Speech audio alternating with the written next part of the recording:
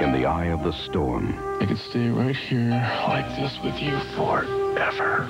there's always calm. You Forget about the rest of the world out there and everybody in it. We can do that. Days of Our Lives. Weekdays